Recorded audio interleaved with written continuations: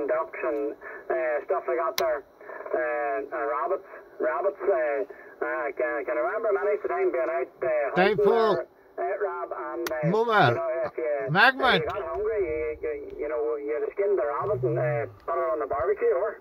Aye, Roger, not there, boy. That sounds nice, boy. Magmount. haven't had rabbit or duck or anything on but 30 Dave Paul. years. Me and my cousin used to shoot up right in the farm there up in Carnarvon.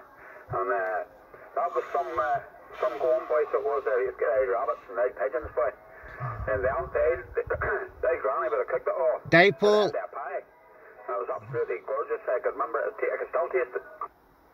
Aye, aye, aye, well. Switching uh, to Magmount. seldom That we ever got uh, uh, something that we couldn't eat, you know. Uh, Magmount. Uh, maybe, maybe thought I'll. Uh, Paul. I'd crow or something, maybe for a bit of target practice or, or something like that there. But uh, uh, normally it was Dave uh, Pigeons or, or uh, ducks or pheasant or uh, rabbits and things like that there.